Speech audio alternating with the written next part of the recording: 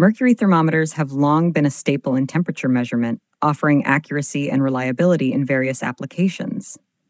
But what exactly makes these instruments tick, and how do they provide precise temperature readings? At the heart of a mercury thermometer lies a simple yet effective principle thermal expansion. Inside the glass tube, a small reservoir of mercury sits at the base. As the temperature rises, the mercury expands, pushing up the narrow column within the tube. Conversely, when the temperature drops, the mercury contracts, causing the column to retreat.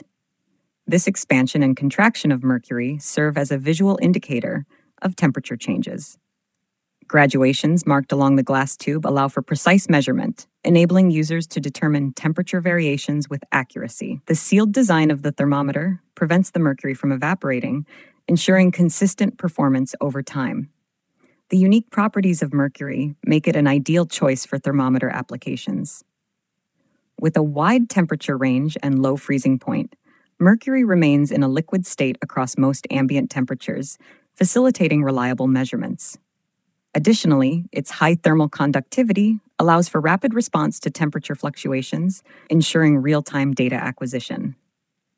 Mercury thermometers find widespread use in various fields, from medical settings to industrial processes.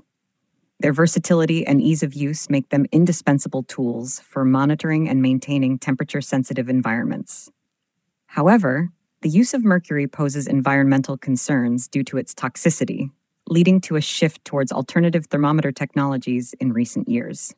In conclusion, mercury thermometers operate on the principle of thermal expansion, leveraging the properties of mercury to provide accurate temperature measurements.